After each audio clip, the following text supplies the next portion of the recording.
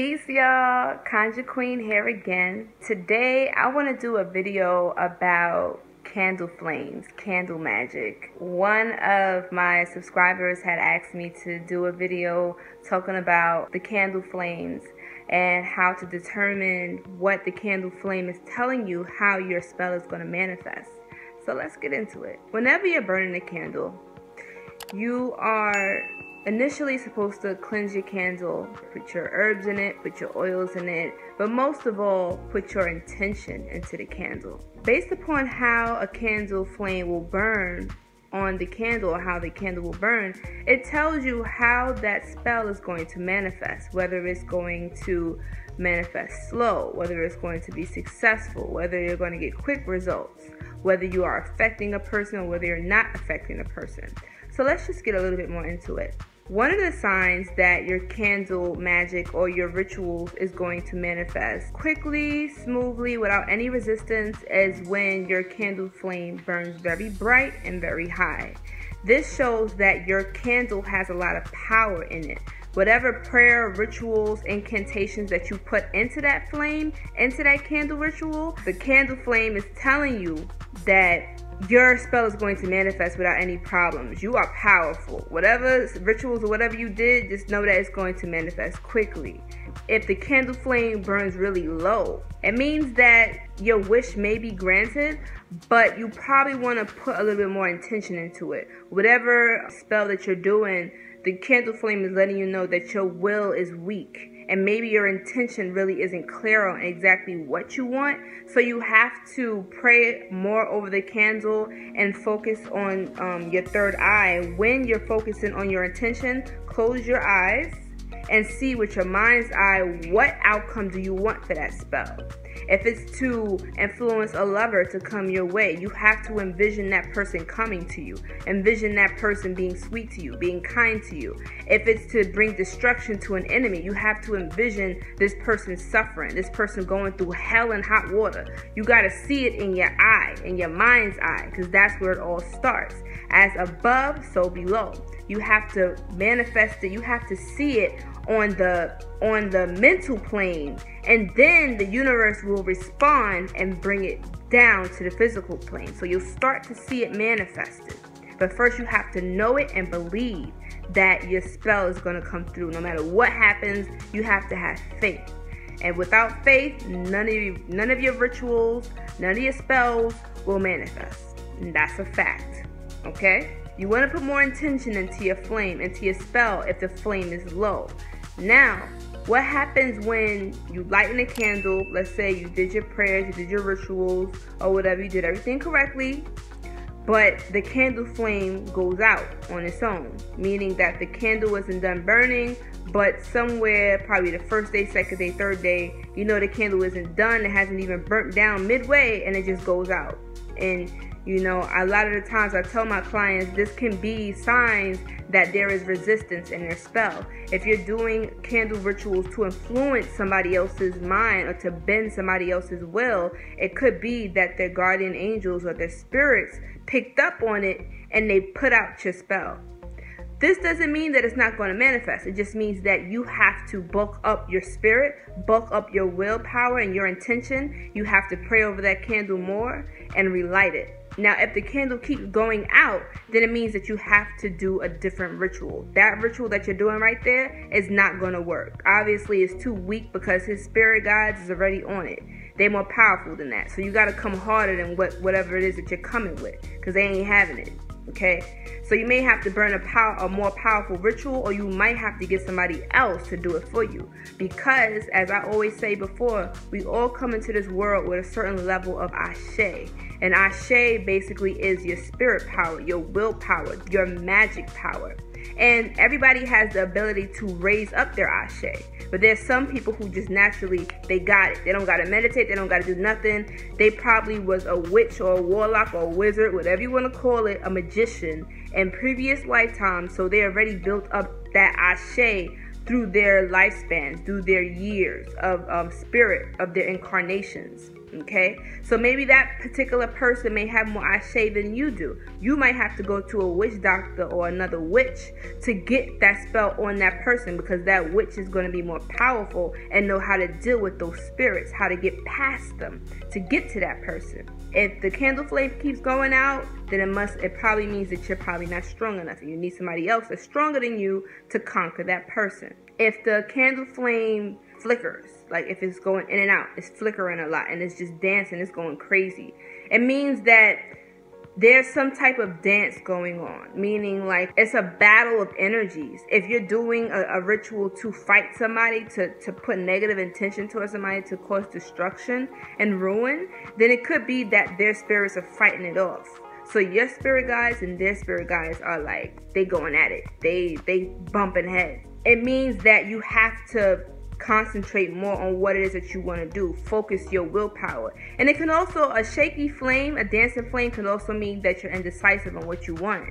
You know, one minute you might say you want this person, next minute you say, oh, I don't know if I should be doing this. Or you could be putting a, a hex on somebody, and next minute you, you, you second guessing if you want to do it. If you put a hex on somebody or a curse on somebody, you have to be sure that that's exactly what you want. Because once you put it on that person, it is what it is. It's done. You understand? You put it out there in the universe, the universe is going to handle it. Somebody once asked me um, if they curse one particular person, is it possible that somebody in their family can um, get hit by whatever you send them? And the answer is yes.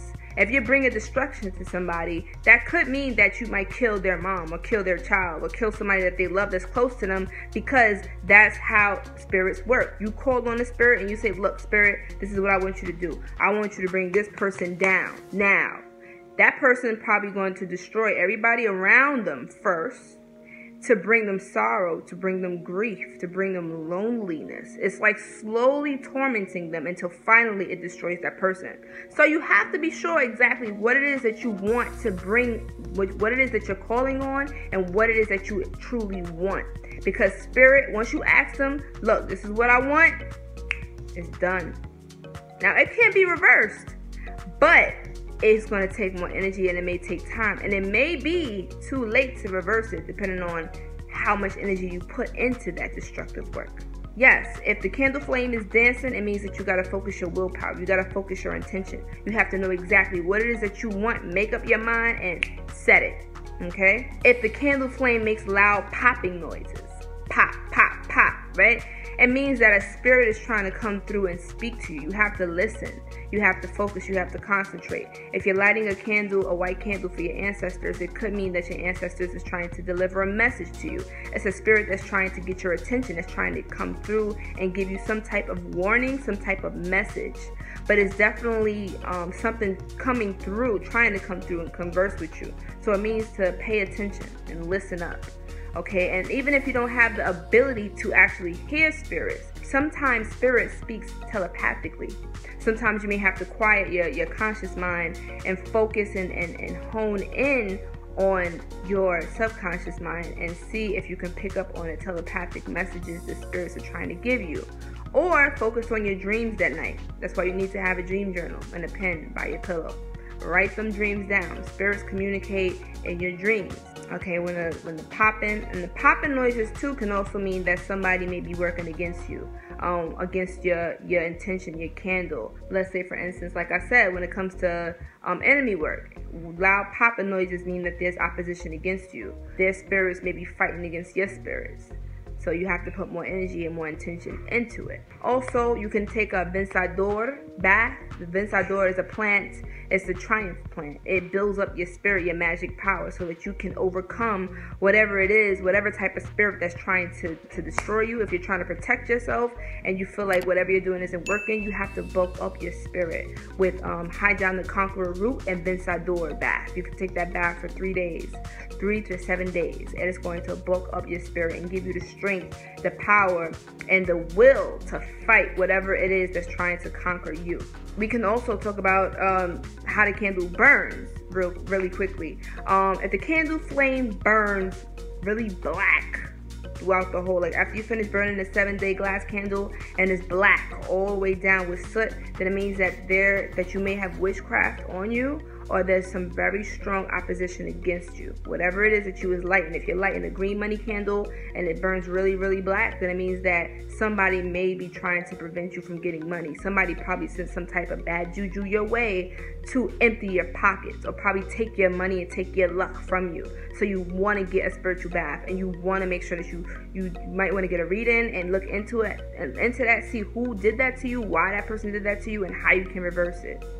Also, um, if the candle just burns a little bit black on top, but mostly is clear, it means that there was some opposition against you. There was some obstacle that was in the way that was blocking your path, but um, spirit cleared it out. So you're going to start seeing that things are going to become more better for you. Life is going to become more prosperous for you, more um, more successful for you. Now, if the candle burn, if the candle glass is just clear as day, then it means that there's no opposition against you and that your intention, your will, your wish will be granted like that. If the candle flame has like a white soot, like if it's cloudy, it's not even black, but it's just like cloudy and it's not really clear, it means that you want to burn another candle. If the candle flame never burns clear, if it's black or whatever, I would always suggest keep burning another candle until it's completely clear. That way you know all the obstacles, all opposition has been cleared out the way and you have the green light to go. That's exact that's what I do. That's what I do for my clients and that's what I advise my clients do. If the candle glass explodes or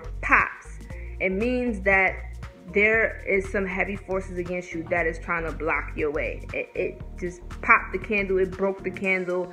You seriously want to look into getting like a serious, deep spiritual cleanse. You want to cleanse your house, you want to cleanse your spirit, and you want to protect yourself because that is some heavy forces right there. If your candle, if your candle glass pops, okay that means that you're dealing with a very strong and, and, a very dangerous spirit. However if your candle if let's say for instance if you're burning a glass for protection and let's say candle glass cracks a little bit it means that whatever type of negativity that was sent to you was broken okay? It was broken. But i would also light another protection candle just to make sure that it even though that curse or that hex was broken you want to make sure that it's off of you completely Whenever you're burning a candle to cleanse yourself, you want to make sure that you are lighting a protection candle alongside with it simultaneously. And even after that candle burns out, you want to burn another protection. Even though you cleanse yourself, you have to protect yourself to make sure whatever you you removed from your life doesn't come back.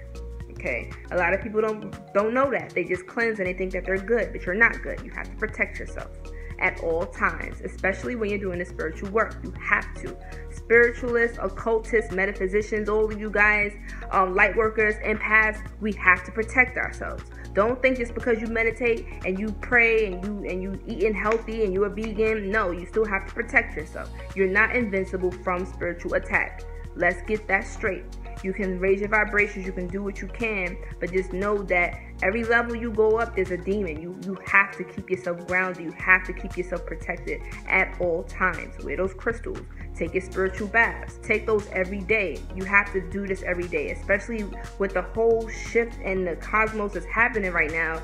There's certain things I can't talk about on YouTube. This is why I be trying to tell y'all, y'all have to join my, my group, Divine Royalty. Once we, we are in the recruiting stage right now because we are in some tough times and we're not going to be on this platform much longer. This platform might not even be here, but I can't, like I said, I can't talk about everything up here because they might try to shut me down again. Okay, they already tried to shut down my Facebook page plenty of times, but I can't talk about it. But anyway, moving forward, um, you guys make sure you're taking spiritual baths. Protect yourself, okay? Um, that's just going to be it for the candle magic. Drop your questions, your statements, or whatever in the comment section, and I will respond to them. If I forgot anybody, if I forgot anything, just drop it down and I'll respond. Also, if you need any type of readings, email me at conjurequeen at gmail.com. If you feel like you are under spiritual attack, if you feel like you need a reading, you need some clarity, if there's some spiritual things going on in your life that you just don't understand, trust me, it's a lot of crazy things going on right now in the ether. So you're not by yourself, okay? There is an attack on the psychics, on the spiritualists, on the empaths, on all the light workers right now. Facts. You're not paranoid. Um, like and subscribe and drop your questions in the comment section. So until next time, guys.